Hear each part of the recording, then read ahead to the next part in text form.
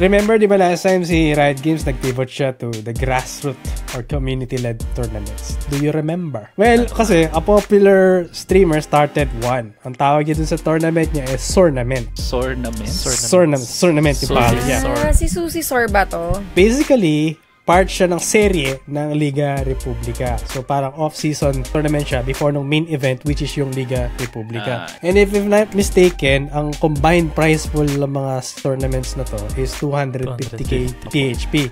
Hindi to exclusive tong 250k sa tournament lang. Kasi meron pa mga ibang tournament which is like yung BB Cup, League Wars, at saka Rainbow Royal. All off-season, papunta dun sa main event which is Liga Republica. Yung nangyari. Basically, it didn't go as planned. Kasi ang headline na lumalabas ngayon is isang LOL team ang na-disqualify dun sa tournament for using an emote. Without providing any context, anong masasabi sa statement na to? Ah, tawag dito. Parang, depende kasi kung, ang sinun, sinunod kasi nila yung ano eh, tawag dito yung rule of book. Eh. Kasi ano yan, eh, ang nangyari ba, ang kwento kasi dyan, yung sa top laners, yung Ki- Kisante, siya yung ano, yung pangalan niya is yung BA De- Defile. Tapos Ah. yung kalaban niya yung Camille. Then, meron kasi dyan sa league na once na first blood mo yung kalaban, automatic mag emote siya. Mhm. Ang problema lang dito, kung sinabi ng organizer nila na ah, aalisin yung automatic na pag-emote. Pero, isa pa, nagka-problema din yung sa mga in-game name nila. About Kasama sa yun. ah, kasama yun, pero hindi nila talaga sinali yun. Anong nangyari nga,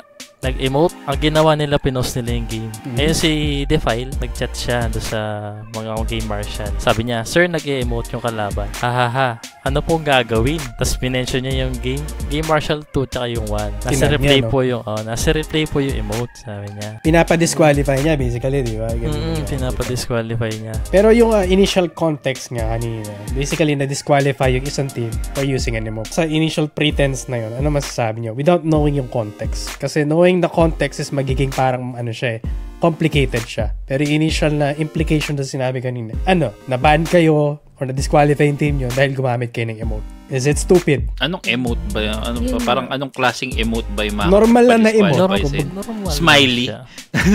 Nag-smiley ka sa ano ka. Nagtatatalon, ganun. Ano nangyari? Nagtatatalon sa tuwa. Bakit kailangan umabot sa ganun kung email? Mababaw siya. Kung, Kaya nga. kung ano, kung doon sa at that premise lang na Yung pretense na yun, Ah. mababaw. Yeah. Mababaw siya. Masyado siyang mababaw. Tsaka Mm. compare sa sa Dota, lalo na kung comp shop days yan, harap-harapan tayo yung mga contrastora. Harap-harapan kang ini-emote, no? Oo. Ibang emote eh, no? Oo.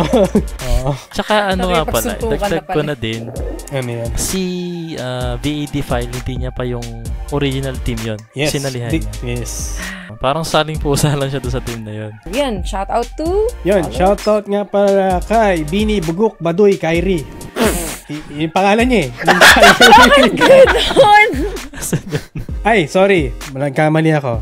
Shoutout nga pala kay Bini Bugok Baduy Kairita. Oh, yun, yun, yun, yun yung, ewan ko, yun yung yung pangalan niya eh. And then shoutout din kay Ubas Juice. Oh, then shoutout din kay uh, Joey Dynamic, Ravi Joe 7, Ainzu, Henner 4L, with Sun. And then salamat din sa mga chatters natin na kanina pa na nagsusubaybay para sa atin, no? Sila Near 4, Tokay Licious, um, Kuma March, Lampas Hupa, Young Blood Cast, uh, Near, Navi Shear, uh. Bicolano Gamer, salamat sa subscribe. Si Miss V, Lampas Hupa, Mark Angeles, nakita ko siya kanina. Ah, Oo. si fried Um, rice. Si Fried Rice. Sino pa ba? Vinster. Recollecting Sino pa ba yung PH. mga Si Vinster kanina. Yan, si Vinster. Tsaka meron kanina nagchat dito eh. Late daw siya, si Pearly Shell. Ah, okay, never mind. So, Si Agile 1220.